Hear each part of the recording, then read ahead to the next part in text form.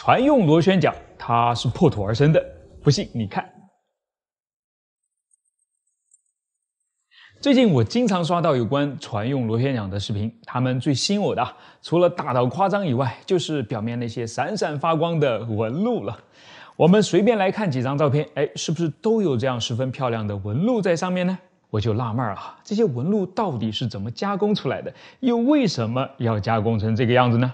我是百科全书火箭叔，今天呢，我们就一起来了解这背后的奥秘。一个船用螺旋桨的诞生，大概需要经历以下这几个步骤：设计、打样、制造模具、机加工和最后的表面处理。我们分别来看看。先说设计啊。你有没有注意到，有的船用螺旋桨长着三个叶片，有的呢则长着四个叶片，还有的是五个、七个，甚至长着更多叶片的。哎，为什么它们的叶片数都不一样呢？而且大多还是奇数的呢？这主要是在加工难度、生产成本、进动平衡和推进效率之间取得平衡。螺旋桨靠旋转来切割和推动水流产生推力，在其桨叶高速移动的同时呢，会在背部制造出一个低压区，使这里水的沸点降低，很容易就沸腾起来了，生成大量的气泡。这些气泡在水压下会迅速破裂，产生出强大的冲击波，发出巨大的噪音，同时还会对桨叶造成伤害。所以，我们就要尽量让螺旋桨转得慢一些，以减少这些气泡的产生。哎，但为了只减转速不减航速呢，我们就得要在桨叶上做加法才行。理论上，转速越慢，桨叶越多才是效率比较高的做法。不过很明显啊，这样做之后呢，成本就太高了。除非是像潜艇这种对噪音特别敏感的船只，其他的商用船嘛，完全是可以折个中的，用三片、五片，然后转速提高一点点就可以了。另外啊，为了减少叶片之间的共振呢，最好的方法就是在这一片叶片的对面没有与它隔轴相望的另一片叶片了。用奇数片叶片呢，就正好解决这个问题了。但这些呢，都只是理论上的。你看，现在明明是四个桨叶的螺旋桨占多数，所以说嘛，它是一个成本与效率相对比较高的考虑了。好了，当已经决定好用多大的尺寸的螺旋桨，插多少个叶片，以及倾角是多少之后呢，就需要把图纸上的设计制作成真正的样品了。它一般会使用木材与发泡材料，由机器或者手工来完成。哎，这里呢，我比较佩服的是手工的部分啊。先是用木片一层一层的粘在一起，然后再慢慢的切削打磨，变成最终桨叶的造型。这个过程啊，你能说它不是一种工匠精神的体现吗？接着就是制作模具了。有的螺旋桨是一体化铸造，有的。比如可以改变桨距的螺旋桨呢，则是单个桨叶分开铸造的。但不管是哪种啊，制作精确的模具都相当重要。它用到的是沙子，在混合好沙子之后呢，将它们铺到第二步制作的样品，哎，其实应该叫做模板更合适。它的下面，然后塞紧修形，灌入二氧化碳加固，再上火烘烤，哎，加入一种特殊的液体，防止接下来熔融的金属液渗入到沙子里面，就可以进入到下一步了。哎，当然，模具是分成上下模的哦，这样合起来才能在其中塑造出一个完整的螺旋桨造型嘛。浇灌进去的是一种由八种金属组合而成的合金，其中铜就占了大约八成，其余的还包括镍、铝、铁、锌等等，以便达到极佳的强度与耐腐蚀性。不过呢，光这样还是不够的。因为随着金属的冷却啊，会有微小的氢气泡产生，严重威胁到螺旋桨的运行安全，并且呢，这样的瑕疵在铸造完成之后就无法修复了，它只能是在这一步被移除啊。怎么移除呢？那就是往熔融金属里面注入氩气了。氩气会从熔炉的底部开始往上升，并在此过程中带走所有的氢气泡。哎，好了，移除了氢气泡的上百吨的金属液呢，终于可以开始灌入模具了。在这之后，它需要用五天的时间从一千摄氏度冷却下来，获得足够的强度来接受下一个挑战——机加工。当然，在此之前呢，我们还必须要温柔的把它从沙漠里面取出来才行啊！啊，的确是很温柔啊。可以看到，这个时候的螺旋桨呢，还是个初胚，必须要经过机床等设备的一系列精加工之后，才能够达到需要的精确尺寸。但这一步完了，它的表面还是十分粗糙的。哎。粗糙意味着极大的摩擦力，而极大的摩擦力呢，就意味着低效和高损耗嘛。所以要对表面进行处理。哎，这一步呢，就是把螺旋桨变成让我们看起来十分养眼的样子了。它会先被装在一台全自动的铣床上，一层一层的被剥得光溜溜的，连最微小的坑坑包包都会被磨平。接着呢，再换人工进行最后的抛光处理。但问题来了。既然这样抛光法，为什么我们还是能够在它的表面看到明显的纹路呢？那个呢，其实是用平面洗刀切削曲面之后很自然的结果了啊。想要彻底没有吗？哎，可是可以啊，那就要在其中插补更多的切削操作，或者换上可以加工曲面的球头刀。但两者都会极大的增加加工时间，实在是没有必要了。现在这个样子呢，虽然看得出纹路，但就光滑程度而言是绝对够用了，并且这样实在是太好看了，有没有？好了，基本上呢，这就是大型船用螺旋桨的生产过程了。可以看到，它是一个极度依赖工业制造水准的领域，能够掌握它的国家少之又少。但我们中国嘛，已经研发出了七轴五联动的机床，加工的最大直径已经突破了十二点五米，最大重量来到了一百六十吨。除了骄傲，还能说什么呢？我是火箭叔，关注我把不一样的科学知识讲给你听。经常有收到粉丝的留言，让我讲讲船尾螺旋桨的那根轴是怎么密封的。我想，哎，这还不简单吗？用黄油啊。哦，对了，这个黄油呢，可不是咱们吃的黄油啊，是那种经常能够在修车厂里面见到的膏状的，起到润滑作用的黄油了。我小时候做船模的时候，就是用它来密封的。所以大船模厚一点不就好了吗？真这么简单吗？我是百科全书火箭叔，其实啊，哪有那么简单？我仔细研究之后呢，发现就连想要讲的尽量简单都难啊，所以我尽力也欢迎大家来帮我补充和纠正啊。虽然成年人的船尾上不抹什么黄油，但其实无外乎也只是把黄油密封的方式搞得更精细、更复杂、更有效了而已。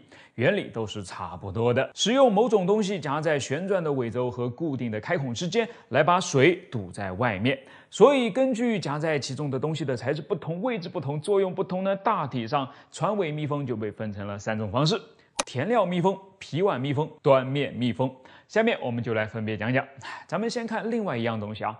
汽车的发动机，哎，它跟船尾轴的密封很像啊，也是既要让一根轴在圆筒中自由的运动，又要让轴的两边完全的密封。所以它是怎么做到的？哎，你看，如果把中间的这根轴做的太粗，在这儿就是活塞太粗的话，直接就把它与气缸之间的缝隙全都填满了，气自然是不会漏了，但巨大的摩擦力也会让它无法动弹啊。而反过来，为了减少摩擦力，把活塞的直径做小，让它跟气缸之间的缝隙变大，运动是没什么问题了。但气缸里面的高压燃气不也就全从这里泄出去了吗？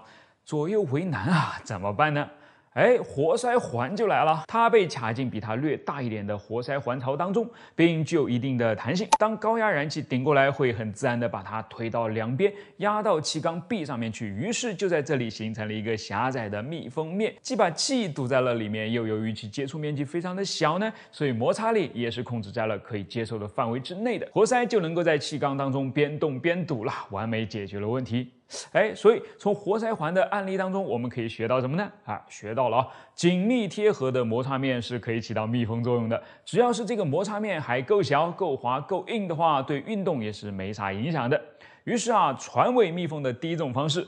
填料密封几乎就是直接把活塞环从汽车上给扒了下来，装在船上了而已。在支撑尾轴和其轴承穿过的尾轴管里面呢，开有一些凹槽，凹槽内塞入比尾轴管内壁直径略小一点点的特殊填料，使其能够压紧位于中间的尾轴，形成一个狭窄的密封面。哎，这样的话，当尾轴旋转起来之后呢，它们就能够像活塞环一样起到密封的作用了。填料的材质呢，也是多种多样的，但一般使用的都是油浸石棉绳，有很。多不同的规格，可能是配合不同的船只，或者是不同的使用环境吧。总之呢，它们应该是非常耐磨，但又不至于像尾轴那么耐磨。所以呢，磨损的永远是它。哎，只要定期更换一下就好了，尽最大可能去保护那根娇贵的尾轴。哎，不过啊常在河边走，哪有不湿脚的？只要是有摩擦，就会产生损耗，水滴还能湿穿呢。棉绳怎么就不可能把钢轴磨出一个槽呢？所以啊，填料密封的方式已经基本上不会用在如今的大型船舶上了啊。你看这个能够穿人的大洞，就是用来穿轴的。所以你觉得要是把这么粗的一根轴给磨损了，去换掉，值当吗？哎，不止嘛，这就有了第二种方法，皮碗密封，哎，又叫做纯口密封。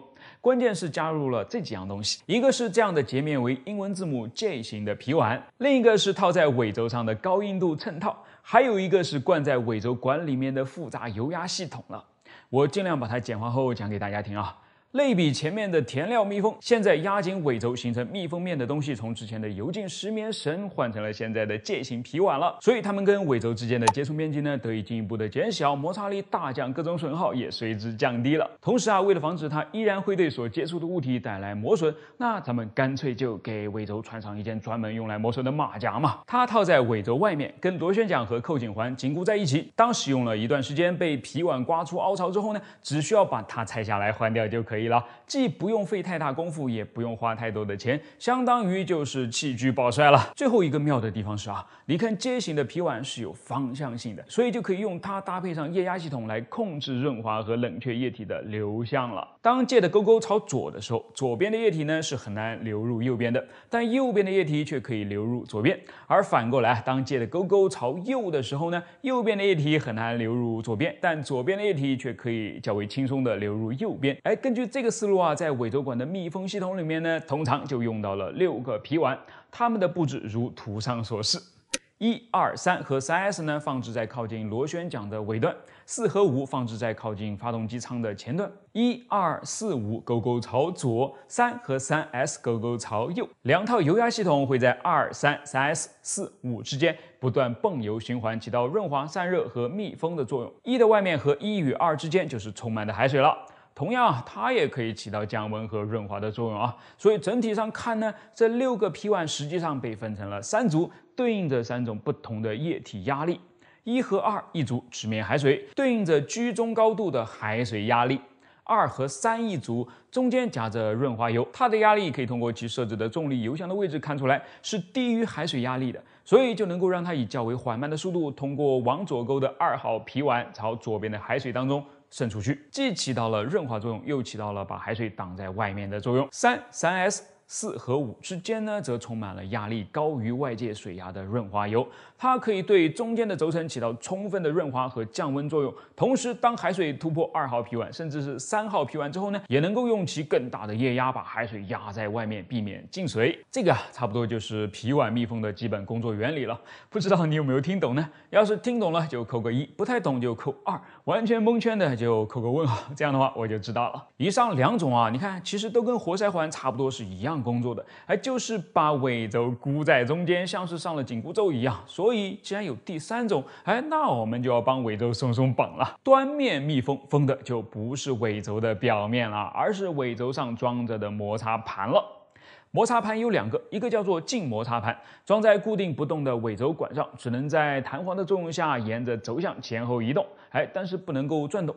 另一个叫做动摩擦盘。它与尾轴是连在一起的，只能跟着它转动，但不能前后移动。实际的封装图呢太过复杂了，我就直接将其简化成了这样：弹簧会一直推着静摩擦盘压在动摩擦盘上，在这里形成一个密封面，后面的部分呢就全是水了。与此同时，还会再泵入高压水，用来进一步的降温润滑，以及把钻空子进来的海水呢给压出去。就这么简单。它的好处啊是易于维护。如果摩擦盘不是已经被磨得太薄了的话，都可以在弹簧的作用下一直压紧在一起的。哎，有点像是我们汽车的碟刹系统。如果真的是磨得太薄了的话，那么直接换一块不就好了吗？我搜索了很多资料啊，似乎用到这个密封方式的船只呢都不是太大。在那些巨型游轮和集装箱货轮上呢，一般用到的都是我们今天讲到的第二种。皮碗密封，哎，所以真的是这样吗？大家可以召唤你认为最专业的人来帮我确认这个答案。哎，今天的内容呢就暂时到此为止了。我是火箭叔，关注我，同时我等着大家的好消息哦。钢的熔点大约是在一千五百摄氏度左右，钨最耐热的金属单质，其熔点呢也不过才三千摄氏度多一点。而火箭发动机从尾部喷嘴里面喷出来的燃气温度，轻轻松松就能够超过三千摄氏度。那么问题就来了。为什么火箭发动机没有把自己的喷嘴给烧化掉呢？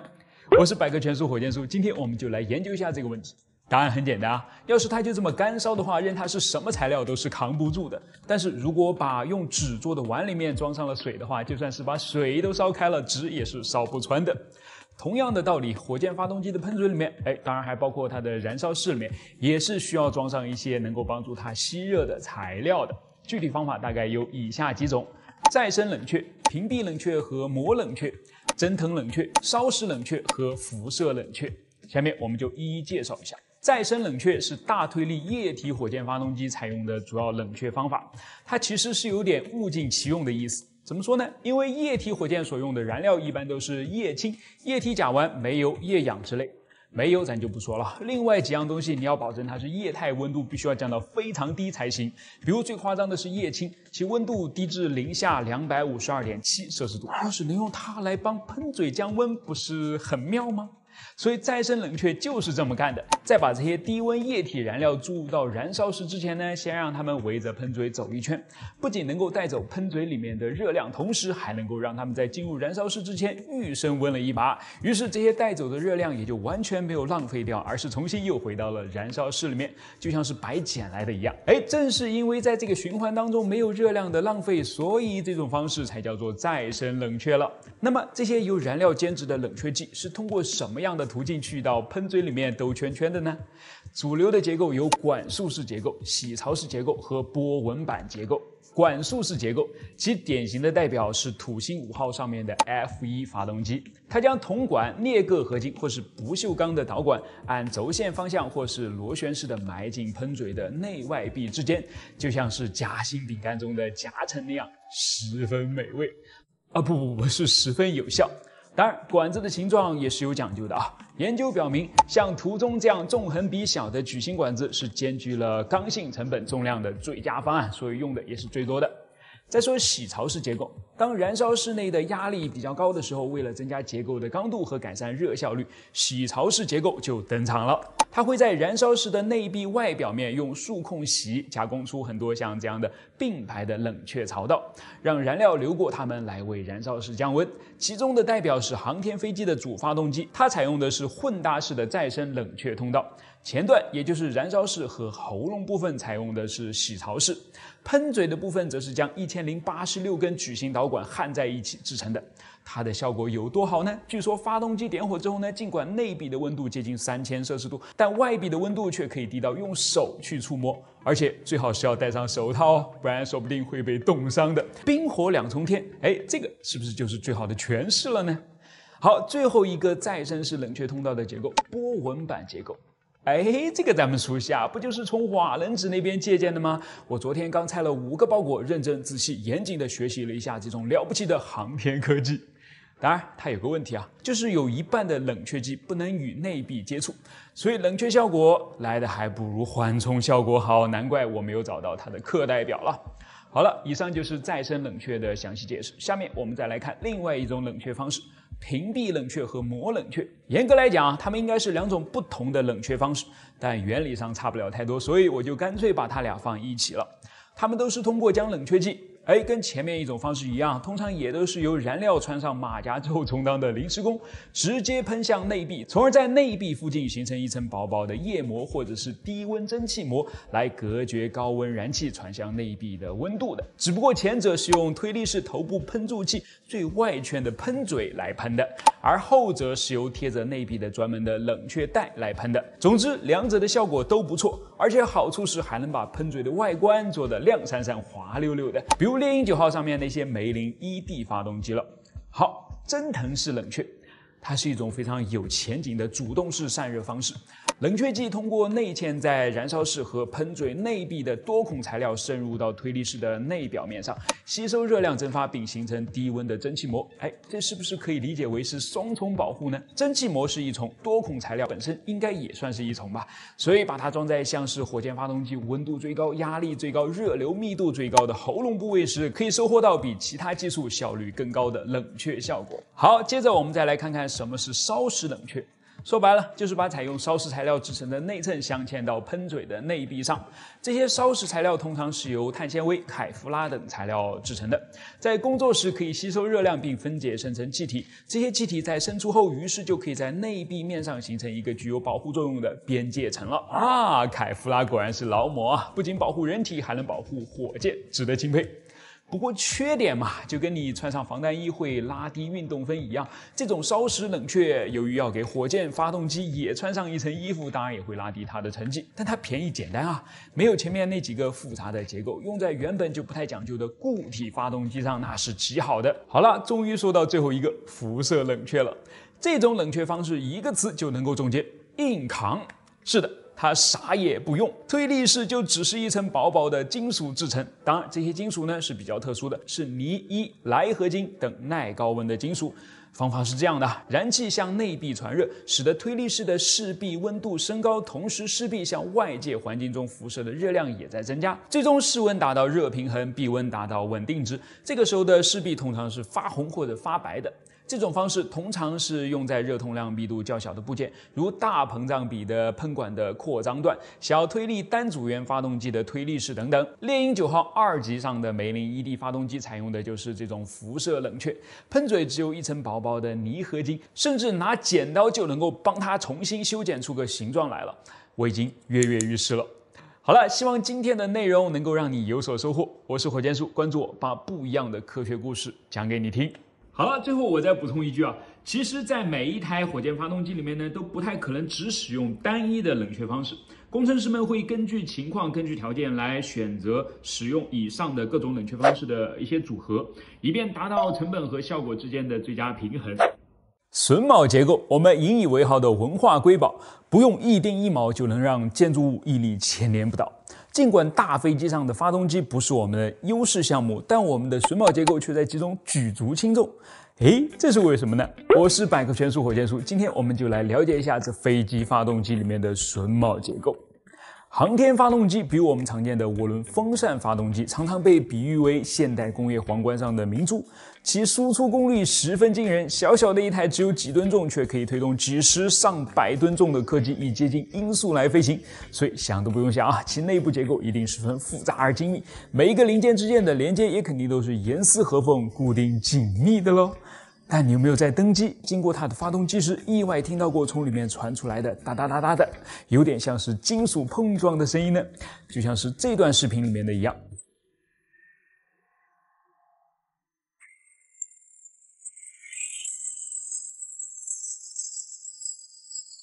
奇怪了，这声音从何而来？难道是发动机里面的风扇叶片松动了吗？没错，就是它松动了。但是也别怕，它本来就是被设计成这样的。作为发动机里面的成立部件，这些风扇的叶片却不是我们想象当中那样牢牢地固定在发动机上面的，而是通过榫头卡在风扇盘的榫槽里面的。最妙的是，它卡的也不紧，榫头和榫槽之间留有间隙，所以当风扇慢慢转动起来时，在重力的作用下，每片叶片在接近十二点钟位置时，都会向轴心方向滑过去；等快要转到六点钟位置时，又朝与轴心相反的方向滑了出去。于是，风扇叶片就在这样滑来滑去的过程当中呢，它们之间的凸台就相互碰撞在了一起，发出了如此这般清脆，或许还有一些瘆人的哒哒声了。这看起来还不如我电脑机箱里面的散热风扇来的牢靠，居然可以把我们带上云霄啊！实在是太不可思议了。好了，该到问为什么的环节了。先给大家五秒钟的时间想一想，猜猜看为什么航空发动机里面的风扇叶片要这样松垮垮的装在一起呢？五、四、三、二、一。好，下面呢就看看你猜的是否正确了啊。首先，连接起风扇叶和风扇盘的榫卯结构叫做重塑型榫卯，因为它看起来确实是很像一棵重树，哎，即冷杉树的外观，呈现出一个有齿的 V 型。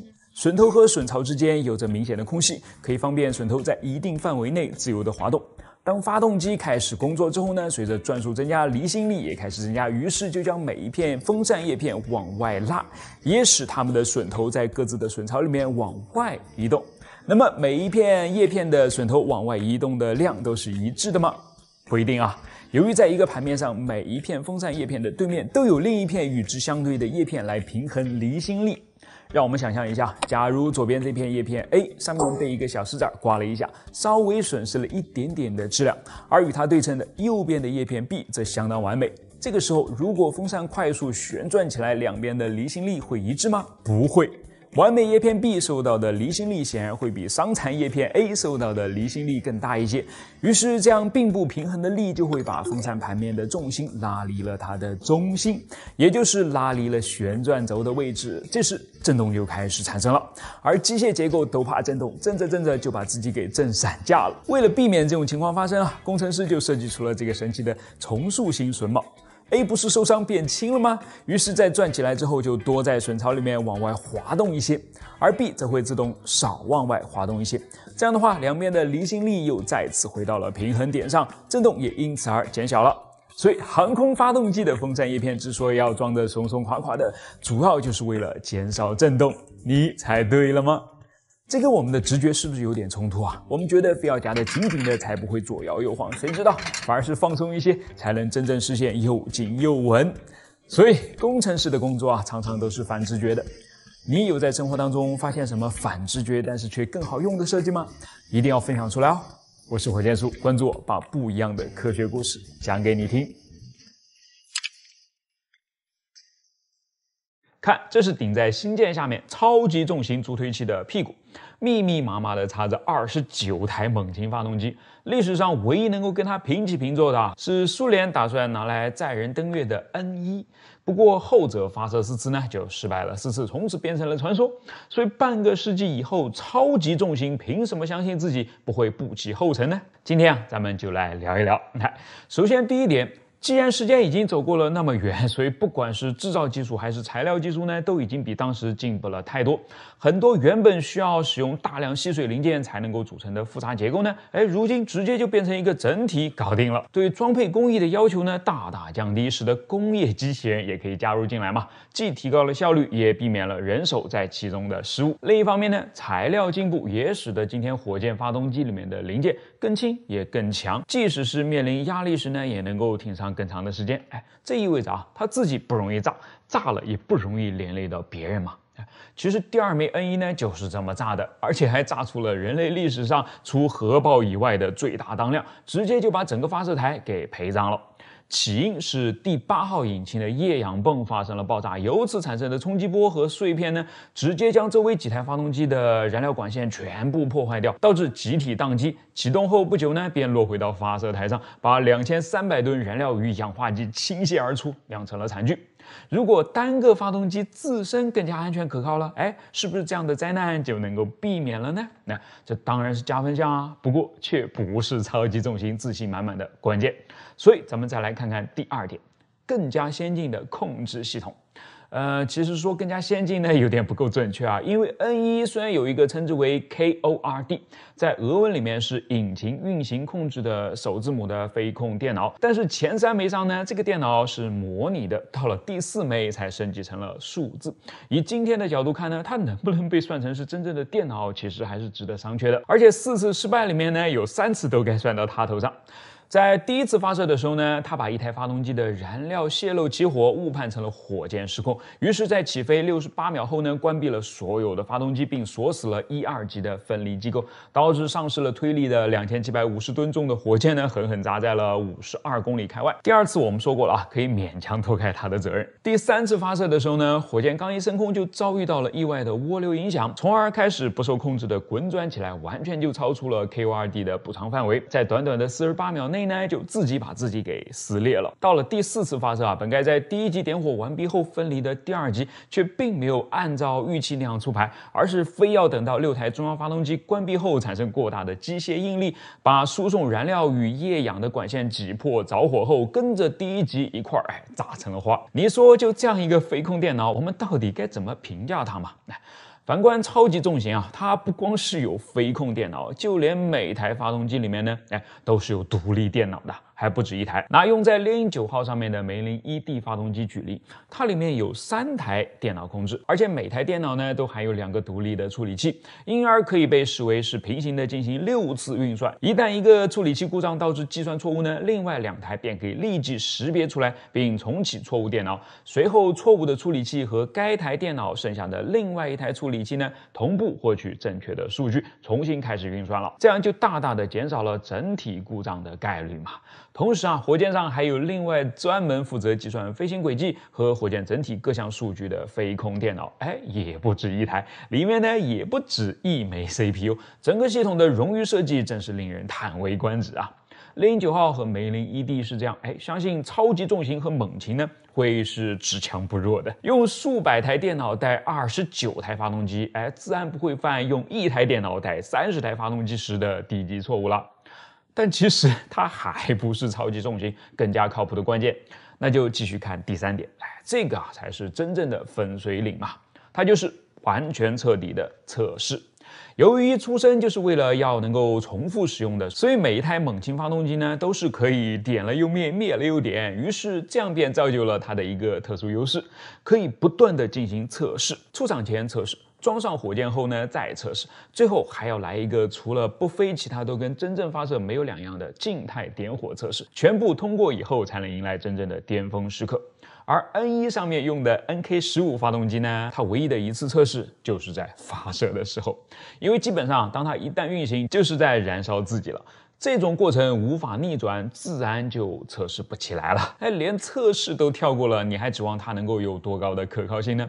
四次爆炸里面只有一次完全怨它，已经是不可思议了。好了，既然我们已经说到了静态点火测试。那就再花点时间来讨论一下 SpaceX 该怎么来完成超级重型上那二十九台猛禽一起点着的测试吧。虽然此前在三号样机上已经成功实现了三台猛禽的静态点火测试，但把它们再翻上九倍实现完全静态点火又是彻底不一样的。当二十九台猛禽一起喷火时呢，其产生的推力啊，比猎鹰九号的七倍还要多，真正的史上最强。这样的烈焰在喷向地面的时候，无疑对火箭本身与发射平台呢，那都是一个巨大的考验。以往发射平台呢都会靠专门的燃气导流槽来降低压力，呃，但是埃隆·马斯克偏偏不这么干，哎，他为超级重型搭建的发射架就是一个离地面只有二十米、四周镂空的架子而已。因此，一旦发动机点火呢，巨大的热量与能量将会直接传递到下面的混凝土结构上。要是一般的混凝土呢，那就完蛋了，哎，不仅自己完蛋，还会在完蛋的时候呢，把碎块炸到发动机上，带着火箭一块儿完蛋。SpaceX。X 吃过这个亏，所以现在用来送超级重型和星舰上天的发射台呢，用的是一种覆盖了超级耐腐蚀涂层的混凝土，并且还配备了一个大型的喷水系统，哎，可以直接将水喷射到发动机的下方。你以为它是用来降温的吗？哎。并不是啊，那只是它的附带效果。它真正的作用呢，是来杀噪音的。因为巨大的噪音其实是一种能量，破坏力极大的能量。为了让这股能量不至于击垮发射台和火箭呢，就得为它找到替代品。看起来水呢是一个很好的选择。另外啊，为了将二十九台猛禽的巨大推力比较温柔的传递到火箭的圆筒壁上，最好的办法就是将它们的点火顺序给错开，好让功率逐渐增加。这样看起来弱不禁风的火箭臂。呢也有个准备的时间嘛。其实啊，在猎鹰九号和重型猎鹰上呢，SpaceX 就已经这么干了。前者是两两成对点燃，等上一百五十毫秒后呢，再点燃另外一对，整体用时半秒钟。后者重型猎鹰上发动机也不少啊，类似的点火顺序会总共用时两秒钟，使火箭的发动机达到最大功率。显然啊，超级重型呢也基本上就是这个路数的。呃，这样做的另外一个好处就是，如果有任何一个或者是一对引擎在启动时发生故障，都是可以迅速关闭，不至于影响到整体运行的。哎，这个呢才是真正的冗余设计嘛。至于 N 一，你搞那么多引擎，又没有单独对一个的控制权，于是增加的只是复杂度，而不是冗余。哎，好吧，但是其实说到最后呢，还是要看实际表现的。希望 SpaceX 快点让我们看到二十九台猛禽同时成功喷火的那一刻。好了，我是火箭叔，关注我，把不一样的科学知识讲给你听。哪吒的风火轮很厉害，于是就被直升机的旋翼给盯上了。你看这个视频，这是一架生产于上个世纪五十年代的超轻型直升机，叫做希勒大黄蜂。在它旋翼两个对称的翼尖呢，分别装着一台冲压喷气式发动机。当它们工作起来之后，就替代了中间的那根驱动轴，从两边把旋翼推着转起来了。这样的好处有什么呢？哎，一个是大大简化了传统直升机的动力系统，其中又包含两个部分。首先是以往那个需要将发动机的动力传输到主旋翼上的复杂传动机构可以被扔掉了。其次是由于没有了这个主驱动系统，原本施加到机身上的反向旋转力矩也消失了，连尾桨都不需要了。动力系统简化到了极致。于是啊，随着动力系统的简化，第二个好处也就浮现出来了，操纵系统自然也能够做得更简单啊。据说学开直升机呢是一件相当痛苦的事情，因为你要同时去操纵很多的东西。哎，像我这种运动协调能力本身就不咋地的人，肯定是搞不定的了。但这种风火轮式的直升机会不会就是我们的救星呢？我是百科全书火箭叔，今天我们就来聊一聊这种风靡上个世纪五十年代的喷气旋翼式直升机，看看它们都有哪些代表，背后又有怎样的故事。以及他们就为什么没能坚持到今天呢？其实吧，代替中间的主轴，把螺旋桨从边缘推着转起来呢，是很容易就能够想到的。早在一九零零年呢，就已经有工程师提出来过了。限制它的主要还是技术啊，因为那个年代的螺旋桨啊，通常都还是木质的，你怎么可能把一个带有燃烧室和众多管线的喷气式发动机埋进去，还能够继续保持强度呢？于是大家想了很久，也等了很久，终于在二战之后啊，才等到了技术上的可能性。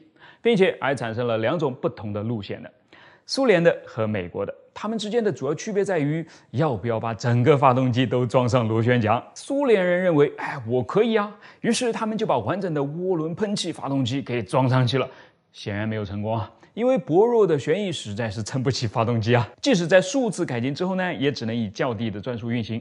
一推油门，悬疑要么就被过载扭成了麻花，要么就跟压机机发生了共振，整个被甩了出去。总之是一条走不通的路啊！哎，美国人就没有这么走了。既然苏联帮我们排除了一条死胡同，那我们就换条路走啊！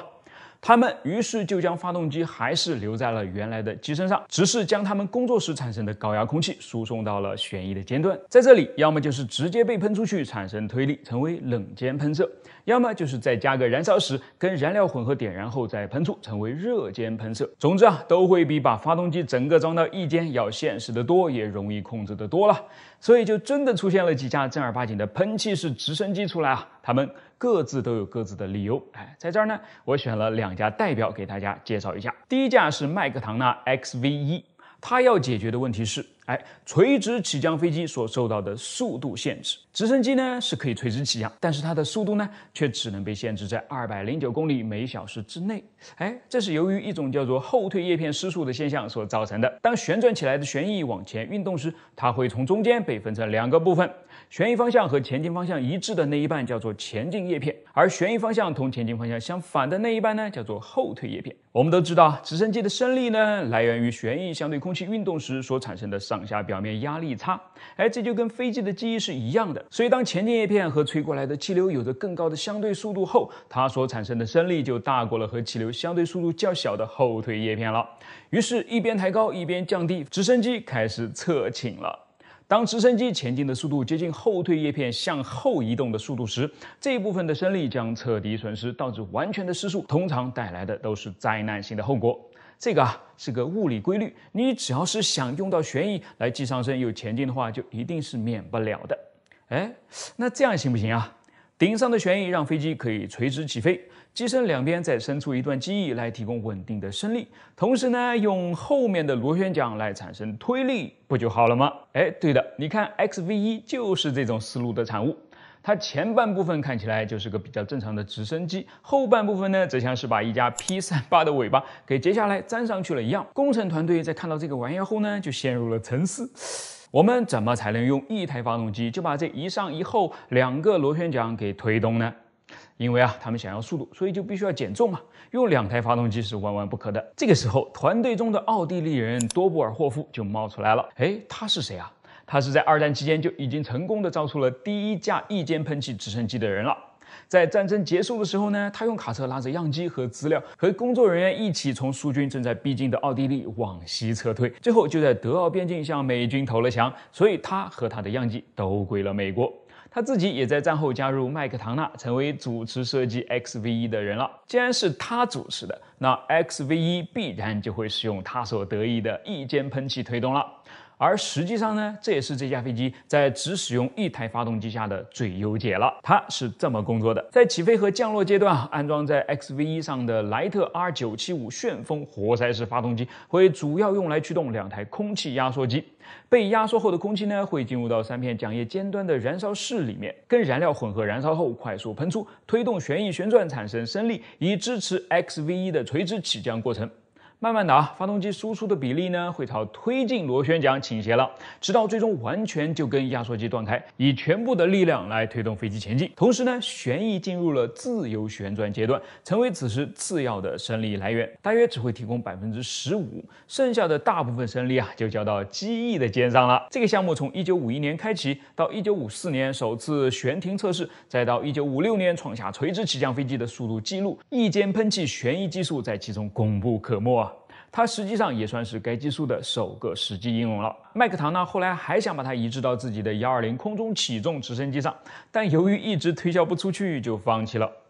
那么 XV 一后来的命运如何呢？军方觉得还是贝尔提出的轻转旋翼方案更有吸引力啊，他们更喜欢 XV 三，也就是后来慢慢发展为 V 二二鱼鹰的那个原型机了。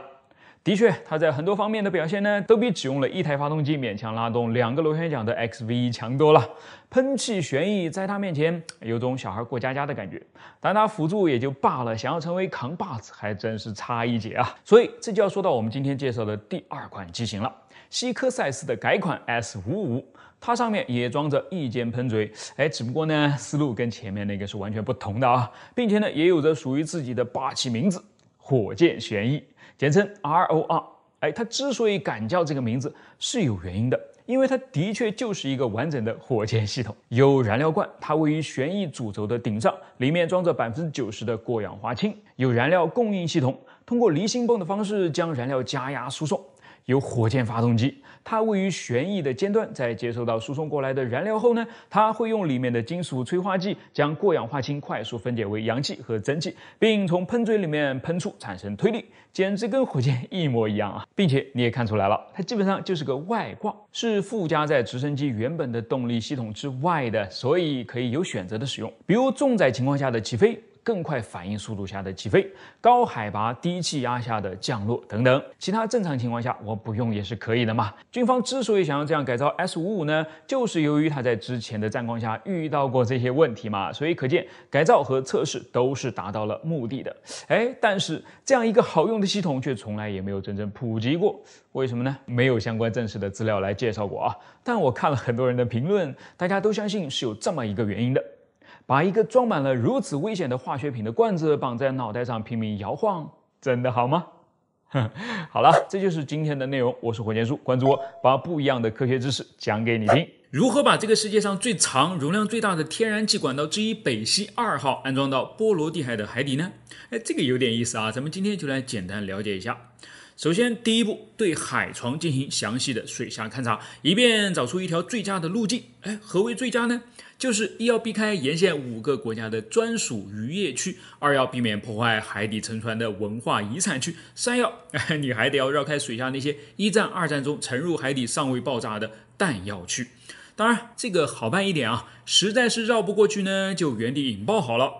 接着第二步，生产管道。大量的啊不巨量的管道，每根长度为十二米，直径为一点一五米，最里面是由钢板卷曲焊接拉伸斜切而成的管道，它们由三家供应商以每天大约一百个的速度生产，直到完成全部的二十万根。当然，为了减少天然气在管子里面的阻力呢，它在内部涂上了环氧树脂；而为了减少海水对管子外面的腐蚀呢，它在外面也涂上了专门的涂层。哎，就这还没有结束啊！为了增加管道在海床上面的稳定性，在此基础上呢，每根管子在外面又裹上了一层厚度惊人的混凝土啊，使原本的重量直接翻倍，从十二吨来到了二十四吨的水平，真的是结实又抗造啊！好，来到第三步了。在全部处理完成的管道都被运送到了沿海的储存场地之后呢，就是到海面上进行铺设了。大型铺管船，哎，相当于是一座海上的浮动工厂，每艘呢都能供数百名工人在其中工作和生活。北溪二号动用了五艘这样的船，同时开工，最多的时候呢，一天一共可以铺设十五公里。哎，那过程是这样的啊，首先将两根管子以双面焊接的方式预焊在一起。仔细检查没有问题之后呢，就能向前转入到中央装配线，以便跟主管道连接在一起了。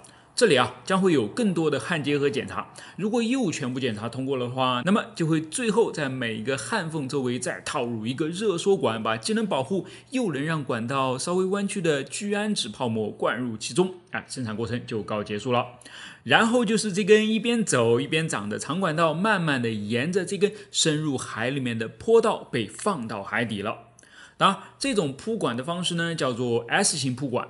还有一种放管道的轨道呢，是竖起来的，垂直着将管道铺进海里面的那个呢，叫做阶形铺管。哎，两者的名称都非常的形象啊。好了，哎，难道全长一千两百公里的北溪就是这么简单的被直接放到海底就算完了吗？哎，实际上啊，由于管子本身是有一定的柔韧性的，大部分地方呢都可以是这么直接放下去不管的。只有以下这几种情况要稍微麻烦一点：浅水区。由于波浪和水流会影响到管线，所以在这里它是被放置在提前挖开的槽里面，等放好之后呢，再重新回填好的。二、跨度较大的崎岖海床区，管线在这里是需要一定的支撑才行的嘛。这种情况下呢，它就需要有一艘岩石倾倒船在前方作业，提前将这个地方基本填平才行。最后啊，还有呢是已经被其他海底管线占领的区域啦，比如电力管线、电信管线等等。那在这里啊，就需要设置专门的岩石垫层，保证交叉路口的各路管线互不影响才行嘛。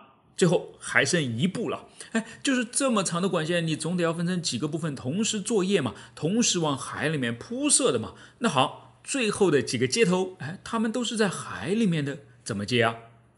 哎，用起重船把它们给吊到海面上来接嘛。首先，这需要连接的两段管线之间呢，得有一段交错的预留空间才行。然后潜水员会潜到水底，将两个浮力罐呢分别装到两段管线的头上，好让它们更容易被吊起来。然后就是起重船的大力出奇迹了啊，将两个接头部分吊出水面。当然，由于这里是需要进行切割的，所以表面并没有裹上混凝土，也其实就轻了不少啊。于是，在这个平台上，两段钢管被切平、对接、焊死。测试，最后再裹上混凝土，重新吊回到海底。哎，整个工程就算完成了。耗时多久呢？从二零一六年开始到二零二一年结束，整整五年时间，花了一百个亿美元，却只工作了零个小时，是不是有点讽刺啊？这是一枚响尾蛇空对空导弹，产量世界第一。自一九五六年服役以来，已经发展出了四代几十种型号了。但除了最新一代以外，在这之前，所有的响尾蛇导弹略显夸张的梯形尾翼底部都装着这样一个小齿轮。哎，它究竟是干什么的？我是百科全书火箭叔，今天我们就来聊聊它。它呢叫做陀螺舵，能够防止导弹发生滚转，从而有效的保证射击精度。哎，那么它又是如何做到的呢？下面我们就开始来解释。首先啊，导弹是一个飞行器，跟所有飞行器一样，也是通过三个轴来进行飞行姿态控制的。拿飞机来举例啊，这三个轴分别是与机翼平行的横轴、垂直于地面的垂直轴和穿过机身头尾的纵向轴了。我们可以通过操纵飞机的水平尾翼、垂直尾翼和机翼上面的副翼来控制飞机在这三个轴上的姿态，从而实现俯仰、偏航和滚转。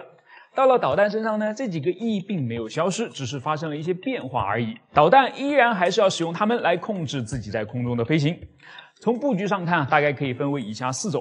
尾翼控制、压翼控制、中翼控制和非常规控制。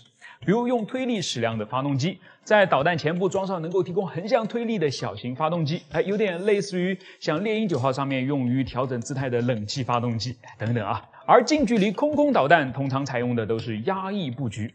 为什么呢？因为它一般尺寸都比较小，弹体尾部在装了发动机之后呢，根本就剩不下任何空间来布置舵机了。于是尾翼就只能固定不动，控制姿态的重任只能往前放，落在了压翼身上。哎，但同样还是受制于窄小的弹身啊，舵机放不下太多，通常只能塞进去两个，来分别控制对称的两组压翼，也就是一左一右水平的两个压翼和一上一下垂直的两个压翼了。这就带来一个问题啊，当水平的两个或者是垂直的两个只能同时同方向转动，而不能像飞机机翼上的副翼一样向两个相反的方向插动时，这两对舵面只能操纵导弹做俯仰和偏航运动，不能操纵导弹做滚转运动。这看起来有问题吗？只要上下左右的方向控制好了，不就能追着敌人满天跑了吗？问题大了。你想要是弹体不发生滚转还好，要是发生了，它靠什么来让自己回到原位呢？而要是回不到原位的话，俯仰和偏航的操作不也同样偏离了原位吗？原本是打算向左拐个弯，现在却拐到了左上，还能够追到目标吗？而导弹在空中飞受到的干扰条件那么多，发生滚转几乎是一定的，那可如何是好？哎。这就是响尾蛇导弹原本面临的尴尬局面了，因为它也是一枚近战空空导弹，使用的也是压抑布局，而它的化解之道就在这个不起眼的陀螺舵上面了。陀螺舵看起来像是一个齿轮，但实际上更像一个风车。它通过一根轴安装在尾翼的尾部，可以相对尾翼发生偏转。当导弹在空中以两点五马赫的高速运动时，迎面而来的高速气流会将陀螺舵里面的陀螺锤的高速旋转起来，其转速最高可以达到每分钟三万圈左右。于是啊，在高速旋转之下，它就获取了一样特殊的本领，能够保持自己姿态不发生变化。好像也没那么特殊啊。每一个骑上自行车的人，同样也会被物理规律加上这么一个外挂。所以呢，回到装了陀螺舵的响尾蛇上面，当它没有发生滚转时，陀螺舵与尾翼保持平行，两者合二为一，看起来就是一片完整的舵面。而当导弹受到外界影响发生滚转时，不能动的尾翼自然会随着弹身一起滚起来。但是高速旋转下的陀螺舵却能够继续保持自己原来的姿态。于是，相对于尾翼平面呢，它就发生了偏转，形成了。一个新的舵面，产生出一个新的力矩，这个力矩的方向恰好跟导弹滚转的方向相反，所以能够抑制导弹的滚转，把之前转出去的给扭回来，超级巧妙，有没有？它就是一个纯机械的玩意儿，只会在导弹发生滚转时被动介入工作，极大的简化了导弹的姿态控制系统。可以说，要是没有它，也就不会有满世界飞的响尾蛇导弹了。当然，这种陀螺舵不光只是装在了前面几代的响尾蛇上，在其他很多的短程空空导弹中呢，也都能见到它的身影。